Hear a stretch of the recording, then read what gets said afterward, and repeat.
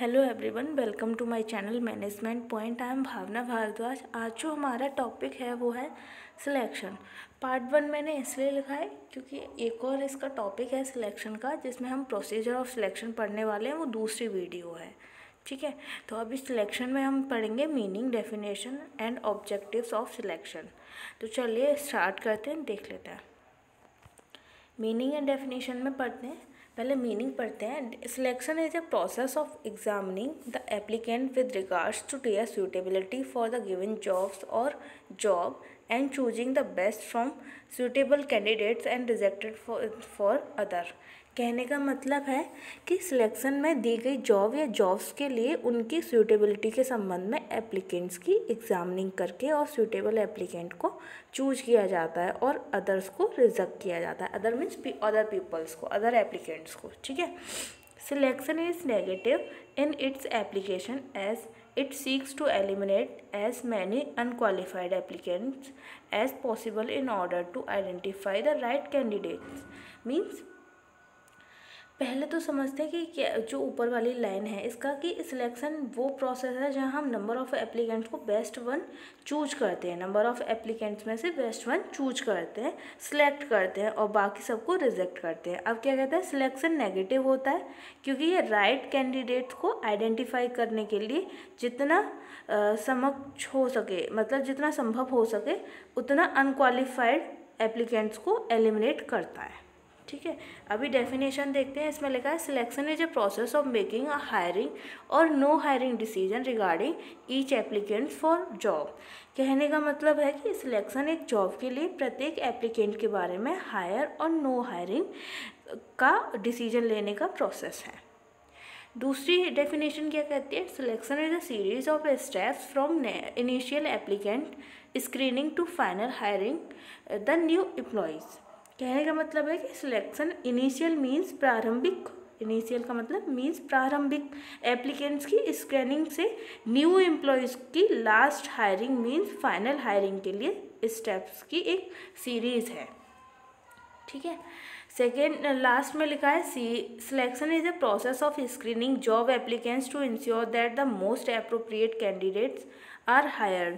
Selection वो process है जहाँ पर जॉब एप्लीकेंट को स्क्रीनिंग करके या इंश्योर किया जाता है जॉब के लिए जो उम्मीद करते हैं और करते हैं।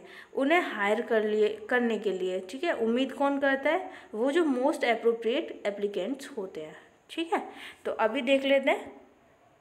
Purpose means objectives of selections पहला है सिलेक्ट सूटेबल कैंडिडेट इसमें लिखा है the purpose of selection is to pick the most suitable candidate who would meet the requirement of the job as most suitable person is picked after eliminating the unsuitable applicants to successive stage of selection process means selection का objective most suitable applicant को pick up करना है, जो कि job की आवश्यकताओं को पूरा करेगा, क्योंकि सिलेक्शन प्रोसेस लगातार स्टेजेस के थ्रू थ्रू से अनसूटेबल एप्लीकेंट्स को एलिमिनेट करने के बाद मोस्ट सूटेबल पर्सन को पिक करता है, ठीक है? सेकेंड पॉइंट है डिटरमाइन एप्लीकेंट्स कैपेबिलिटीज़ इसमें लिखा है selection determines whether the applicants have require the capabilities और not in other words the needs of job are match with the profile of candidates कहने का मतलब है कि सिलेक्शन एक यह निर्धारित करता है कि एप्लीकेंट्स को कैपेबिलिटीज़ की रिक्वायरमेंट है या नहीं है। अदर बदर्स अदर वर्ड्स में कहें तो लिखा हुआ है कि जॉब्स की ज़रूरतों को कैंडिडेट्स के प्रोफ़ाइल से मैच किया जाता है। ठीक है? इन अदर वर्ड्स में लिखा है the need of the job are match with the profile of candidates जो एम्प्लॉयज़ होते हैं एप्लीकेंट्स होते हैं तो जॉब की जो ज़रूरतें होती हैं, उनको कैंडिडेट की प्रोफ़ाइल से मैच किया जाता है। ठीक है? तो थर्ड पॉइंट देखते हैं। Place right candidate at right job अब कैसे?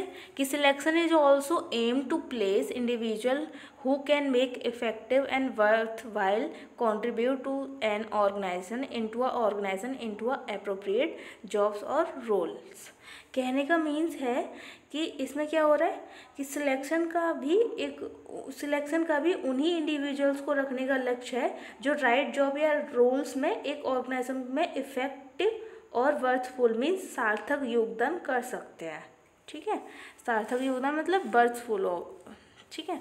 तो फोर्थ पॉइंट में लिखा है जनरेट इन्फॉर्मेशन अबाउट कैंडिडेट इसमें the goal of goals of selection is to generate information about the candidates and assist assist to decision making इसमें लिखा है कि ए, और जो सिलेक्शन का गोल अदर कैंडिडेट के साथ कंपैरिजन के सक्षम करने के लिए कैंडिडेट के बारे में जानकारी निकालता है और इस प्रकार डिसीज़न मेकिंग में हेल्प करता है। मतलब जो अनक्वालिफाइड पर्सन है और जो क्वालिफाइड पर्सन है, उनका कंपैरिजन किया जाता है।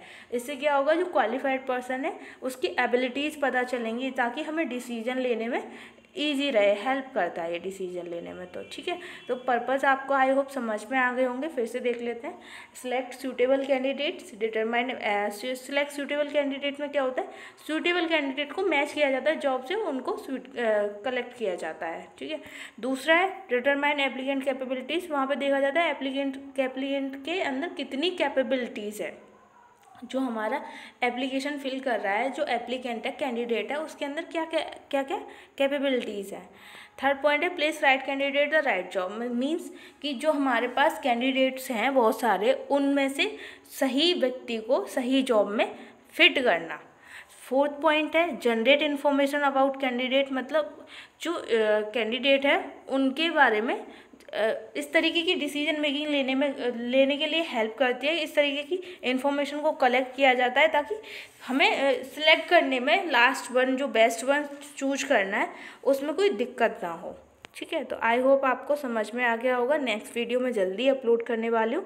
अगर आपको मेरी वीडियो पसंद आई हो तो प्लीज़ सब्सक्राइब कीजिएगा मेरे चैनल को ताकि आपको फर्दर वीडियोज़ की इन्फॉर्मेशन मिलती रहे। Thank you so much